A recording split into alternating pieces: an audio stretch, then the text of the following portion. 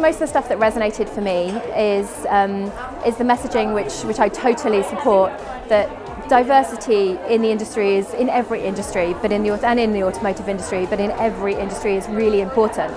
But it's not just diversity of gender or race or age or colour. It's it's diversity of thought. I think that was the message that resonated most with me from this morning.